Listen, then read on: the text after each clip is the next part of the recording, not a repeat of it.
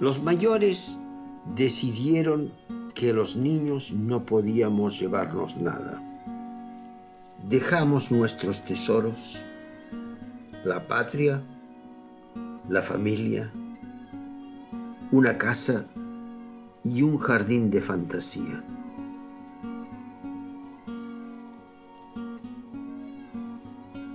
La guerra civil española había llegado a su fase final. Al día siguiente pasamos la frontera.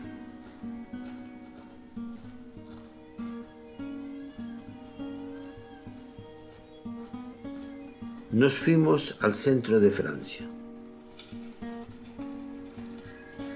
La familia se embarcó en el ómnibus de la compañía Mavit por primera y última vez en la historia de la compañía, el ómnibus dejó la ruta asfaltada y por el camino de tierra subió hasta el pueblo para dejarnos frente a nuestra casa.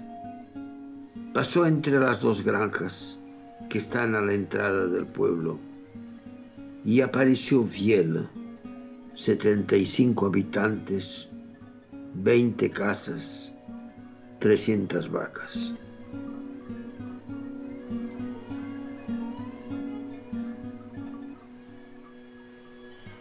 No podíamos imaginar que Auvergne fuese una región tan fría. Los vecinos nos aconsejaron comprar un roble. El viejo Bonal, patriarca del pueblo, nos mostró uno. ¿Este les viene bien? Cuando preguntamos el precio, no nos quiso cobrar. El señor Antoine Salcé abatió el roble y lo transportó frente a nuestra casa. Pero, ¿cómo reducir a leños estos troncos? Era algo que nos sobrepasaba. El pueblo se dio cuenta de nuestra torpeza y falta de previsión el viejo Bonal tomó nuestro problema como el asunto propio y pidió a los hombres de la chacra que nos cortaran la leña. Dolorosa experiencia para una familia burguesa depender de la gentileza ajena. Entramos la leña. Hacía mucho frío. El cielo estaba encapotado. Me pidieron ya de noche que fuera a buscar agua a la fuente. Frente a la casa del poeta, por una rendija de los postigones, filtraba un rayo de luz. Y en este rayo de luz revoloteaban unas moscas blancas. Estaba nevando.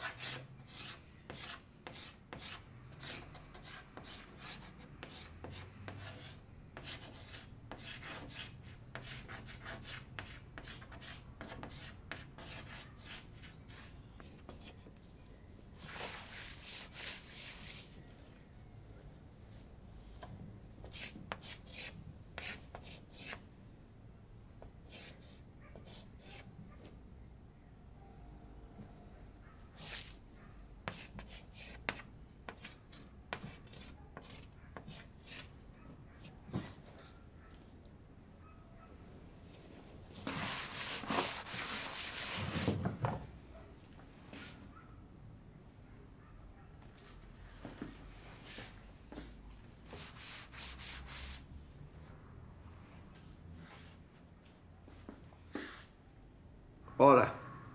Sí, sí. Oh, com esteu? La família, tots bé? No, estava pintant un quadre sobre Viela i volia pintar la casa nostra i, i la casa Roca Tanier i una quantes cases. I de cop m'he oblidat del, de, de quantes finestres tenia la nostra casa. Eh, el, el, el menjador hi havia una finestra, no? Sí. Que el menjador que a l'hivern no funcionava. Després, tu dius dos en la, la, el quarto de les noies, dos, i dos en el quarto nostre. Que, I la, el, tu dius que la, la, la cuina... No, la cuina no estava davant, la cuina estava darrere, de l'altre costat. I la, el quarto de les noies no en tenia dos, tenia una sola. Per mi tenia una sola. La, el quarto nostre tenia, sí, dos. Sí, sí. Això m'agrada més. No, no, la cuina estava de l'altre costat. Sabeu que tens poca memòria. No, si no semblava un tramvia, això. Què, què, què, què fas amb tantes finestres? Bueno, bueno, altre dia te truco. Com aneu? Bé? Bueno, aquí bé, treballant, què vols fer-hi? No hi ha altra cosa a fer. Bueno, noi, gràcies. Una abraçada. Aló? Ah, tu ne te souviens plus de ma voix. Je parle de l'Argentine. Bonjour Claude. Ça va, ça va la famille? Ça va Vielle Quel changement il y a eu à Vielle Bon, écoute, je t'appelle parce que je veux peindre un tableau sur notre maison et j'ai des moments d'absence de, la mémoire. Et je voudrais savoir la façade, combien de fenêtres Ah, oui, très bon. Très bien. Tu peux lui demander à Jean qu'il m'envoie cette diapositive? Comme ça... Euh... Oui, dis-lui, dis-lui, dis-lui, je te remercie. Bon, un autre jour, je t'appelle et on parlera. Aujourd'hui, c'est un jour de travail, tu sais, toi, pour toi aussi. Bon, Claude, à très bientôt et très heureux d'entendre ta voix. À bientôt.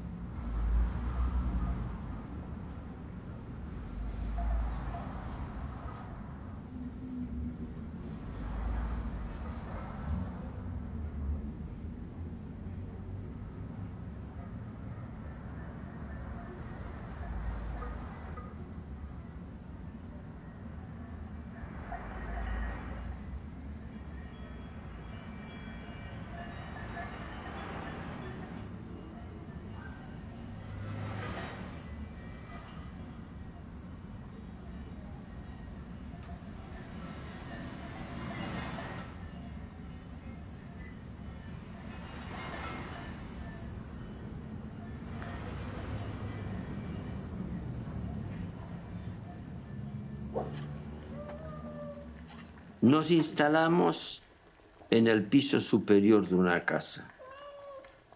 Debajo vivían los Panís. Batistú Panís tenía miedo.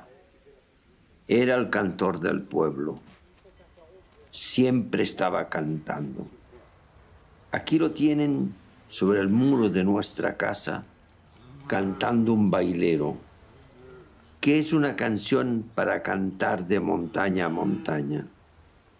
Pero en Viel apenas había una colinita. Por eso titulé este cuadro La canción que crea montañas.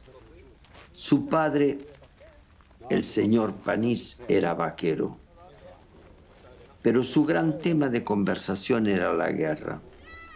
A la puesta del sol, los chicos nos reuníamos para escuchar sus historias de este periodo de su vida. La casa más linda del pueblo era la de los Rocotanier. Vivían en esta casa dos mujeres, la señorita Yvonne Rocotanier y su madre, la señora Charlotte Rocotanier, sobrina del gran poeta Arsène Vermenouze, poeta local que cantaba las glorias de la vida campesina. Se dice que el poeta escribió buena parte de su obra dentro de las grandes chimeneas de la región. Frente a esta casa había una fuente y quién sabe cuántas veces al día iba yo a cargar mis baldes de agua. Para ir a buscar agua debía abrir y cerrar dos portones. Cuando por alguna casualidad el segundo portón quedaba abierto y las gallinas de Madame Panís entraban en la huerta de los Rocataniera, se armaba la de San Quintín. Y lógicamente, culpables o no, éramos los transportadores de agua los primeros en ser incriminados. En la chacra Bonafé había un cordero bautizado, vayan a saber por qué, chivo. El chivo perseguía a las mujeres por el espacio comunal. Frente al peligro había dos velocidades, con suecos o sin suecos. En la chacra bonal trabajaba Hipólite Meniel. Había hecho la guerra del 14, donde fue herido y le hicieron una trepanación aunque era soltero, dicen que había tenido una novia en un pueblo vecino, pero un día la relación se cortó y él no volvió a nombrarla nunca más. En la chacra de Joux había un hombre llamado Bernard Lescure cuya particularidad era saludar a repetición. No decía buen día, sino bonjour, bonjour Aquí lo tienen caminando entre las dos granjas, saludando a un pastor, bonjour, bonjour, o saludando al señor Antoine Salcé, bonjour, bonjour.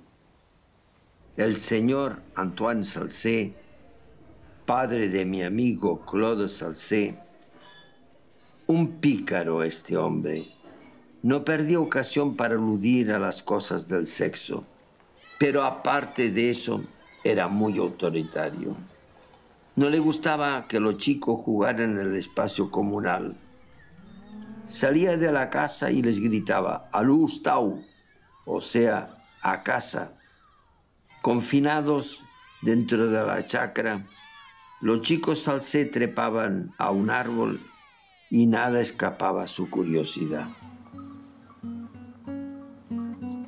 En el cartero, por una miserable carta, era capaz de hacer el trayecto de Itrac al pueblo, cuatro kilómetros y medio de ida y otro tanto de vuelta, bajo todos los climas, calor, lluvia, frío. Es cierto que se lo recompensaba bien, una carta, un vaso de vino. Esto hacía que al final del recorrido la línea de su bicicleta no fuera tan recta porque el pueblo vivía según su escala de valores. los hombres rendían culto al vino. Lo que pasa es que es el trabajo el que da sed.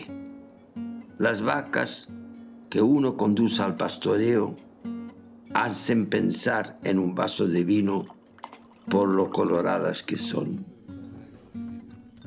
Cuando llegaba el tonel de vino en lo de la señora Panís, los hombres miraban este tonel con gratitud.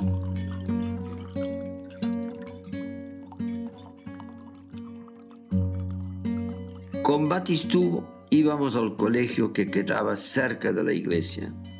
El camino era buena ocasión para repasar una poesía, una fábula, lecciones de historia o de botánica, o las tablas de multiplicar. Madame Garen, la maestra, me consideraba un pésimo alumno. Con ella empezamos a interrogarnos sobre los misterios de las mujeres. No se sabe por qué su enorme busto solía subir como impulsado por un resorte misterioso. Debo decir que aún no he develado el profundo misterio.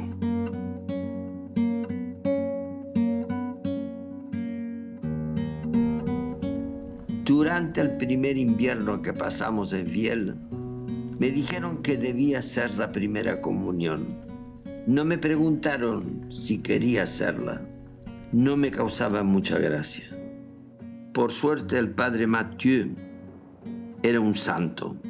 La prueba un día en el catecismo, un compañero dejó escapar un ruido. Este ruido poco sagrado levantó una ola de carcajadas.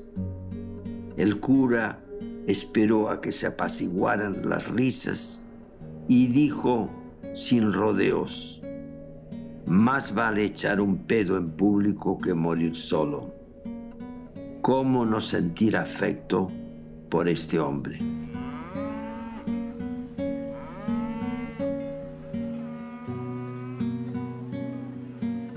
Poco a fui adaptándome al pueblo. Me hice amigo de Batistú Panís y fue Batistú quien me introdujo en las chacras. Con él y con Claude Salcé aprendí, jugando, el oficio de conducir bueyes. Pero mi madre comenzó a ver con malos ojos mis juegos con los hijos de los campesinos que no correspondían a la educación que mi familia pretendía darme. Y el malestar se hizo evidente. Privado de una familia benévola, empecé a escribir mis memorias en un cuaderno. Y las escribía en francés. Tenía 11 años.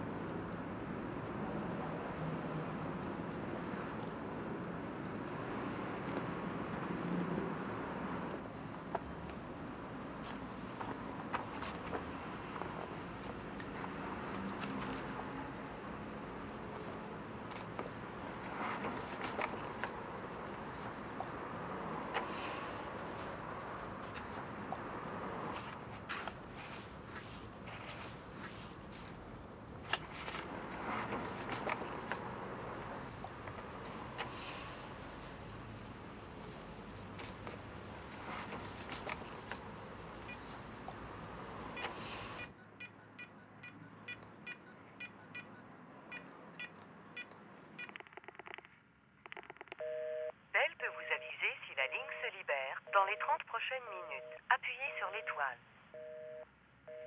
Bell peut vous aviser si la ligne se libère dans les 30 prochaines minutes. Appuyez sur l'étoile.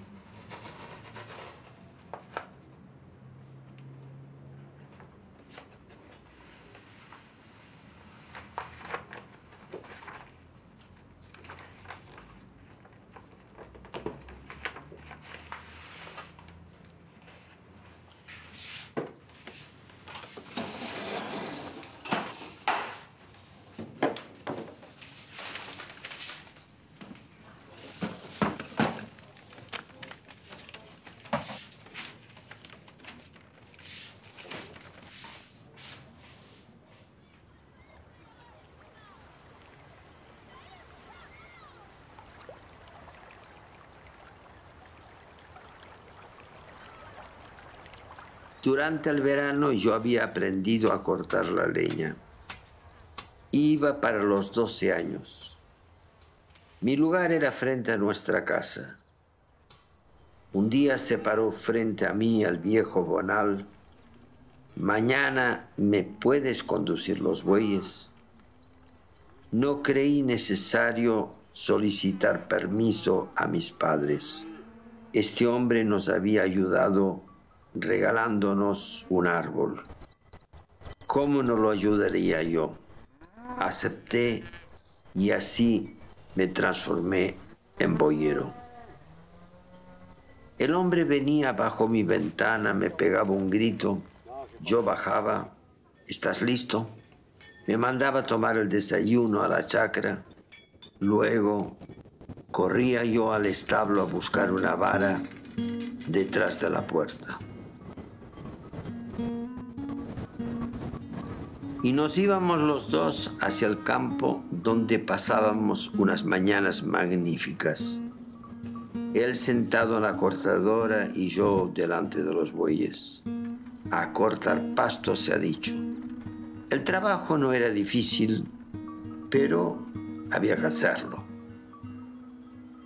Cuando había un inconveniente, el viejo me sonreía sus grandes bigotes le tapaban su boca. Pero yo sabía que me sonreía porque por un prodigio de su musculatura facial, su sombrero se levantaba sobre su cabeza. Era el hombre que sonreía con el sombrero. Mientras estuviese este hombre, no teníamos que temer nada. El primer día de trabajo, a mitad de la mañana, llegó Antoinette Delbert con la canasta con pan blanco, jamón, queso cantal. Antoinette no se había olvidado de llevarme una botella de agua porque todos sabían de mi rareza. Yo no tomaba vino. Hipólita Meniel me tendió su cortaplumas y me dijo, servite primero. Todo eso eran pequeñas gentilezas que me hacían sentir bien. Luego de la cosecha del heno seguía la cosecha del trigo. Ese verano la cosecha fue tal que en la chacra bonal se decidió festejarlo. Hipólite Meniel nos pidió a Batistú y a mí que buscáramos flores en los cercos y con nuestros dos ramilletes adornó la cabeza de los bueyes. Con los bueyes así ornamentados y la última gavilla sobre su cornamenta, así llegó el último carro al pueblo. Hubo cena, canto y baile pero mi familia no aceptaba mis frecuentaciones. En medio de la fiesta irrumpió nuestra madre con rostro tenso. Me ordenó volver a casa inmediatamente. decidí desobedecer y me quedé.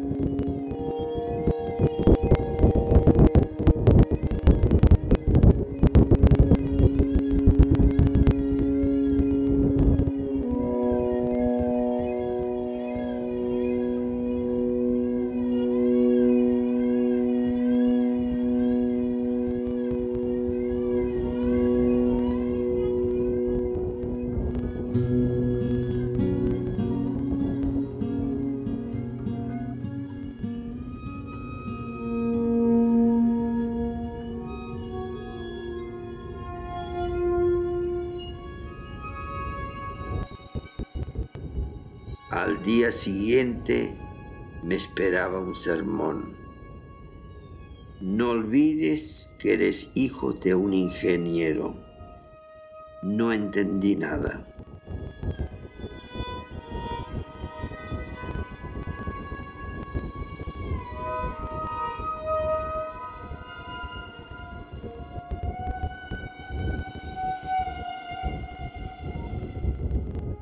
Meditar me refugiaba en la colina. Habíamos adherido a la República por interpretar positivas las aspiraciones del pueblo español.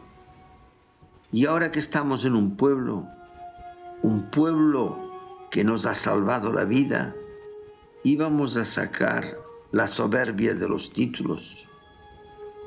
Supe que nunca sería ingeniero un cargo que autoriza a despreciar a los amigos.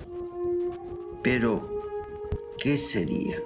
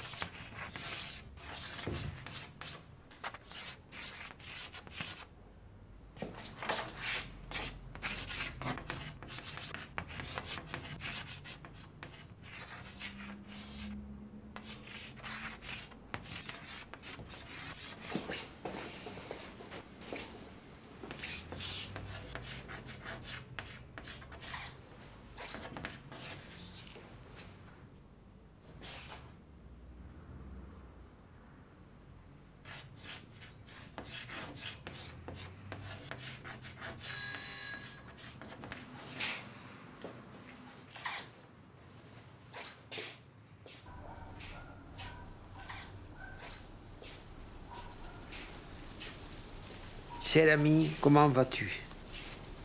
J'ai su par Claude que tu cherchais des photographies du village.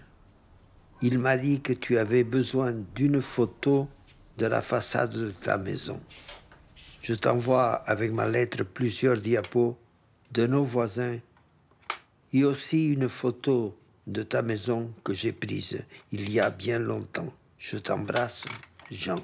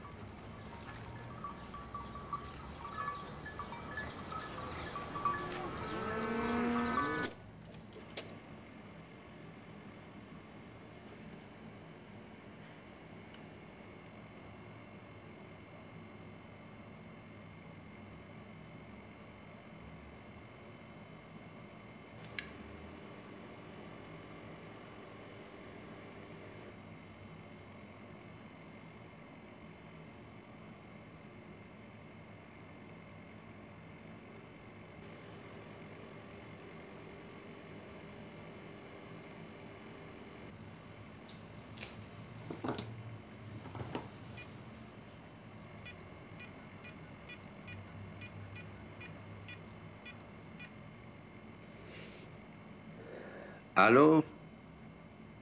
Allô? C'est Claude? C'est Nicolas.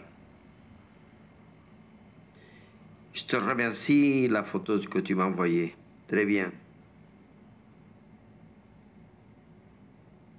Oui, oui, oui. Mais il y a des arbres devant la maison, les sapins qui cachent les fenêtres. Je voulais savoir le, nombre de fenêtres qu'il y avait à notre étage. Écoute, est-ce que tu peux sortir dehors, au commun, et regarder combien de fenêtres il y avait à notre maison dans notre étage? Quoi? Non. Donc, ils ont fichu notre maison par terre.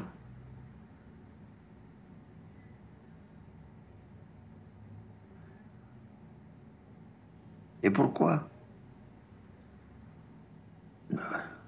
Mais voyons.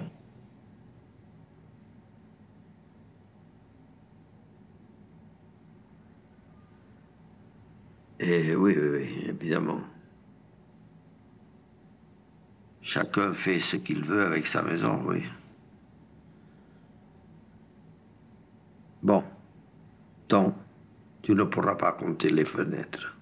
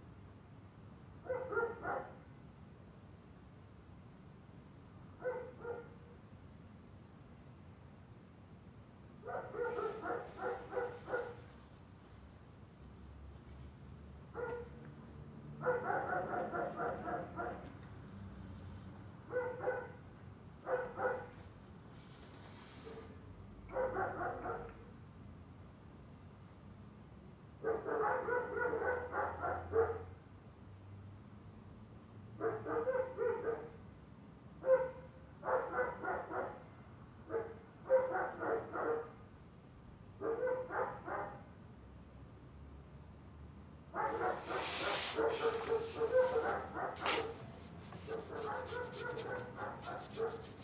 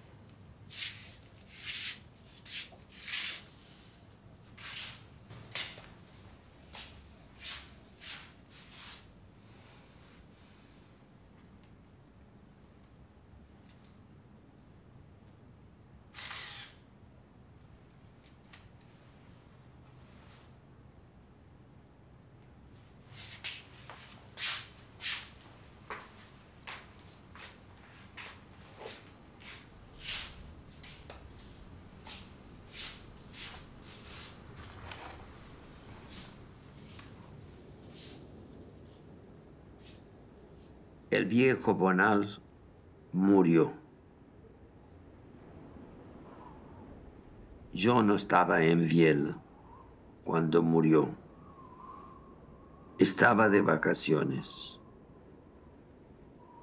Pero sé que lo llevaron por la ruta hacia el cementerio de Itrac.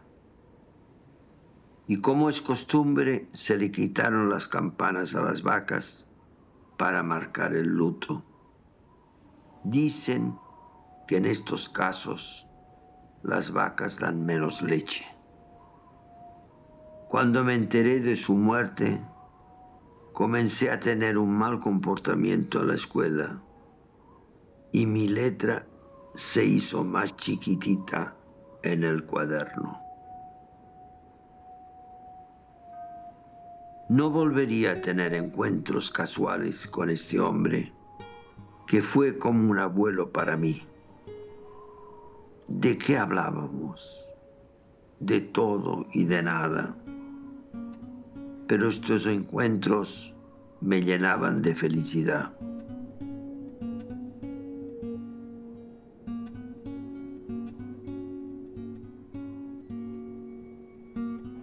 Tiempo después nos vinimos a la Argentina.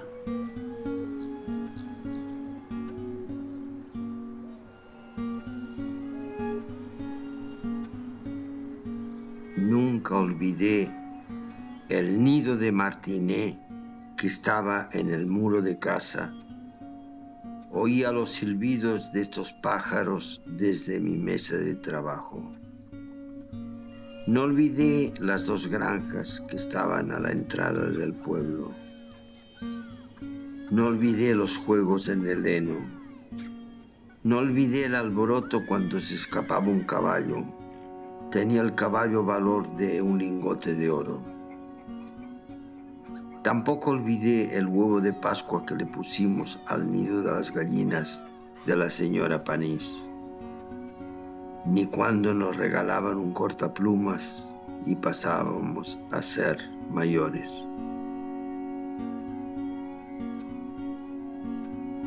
Porque estos cercos, estas praderas, estos senderos son los simples paisajes de mi infancia y juventud. Y habiendo senderos, ¿para qué ir a la luna? Se podría decir que mi vida fue un lento proceso de adquisición de conocimientos para poder pintar estos paisajes y estas personas mis amigos, los vecinos de mi pueblito.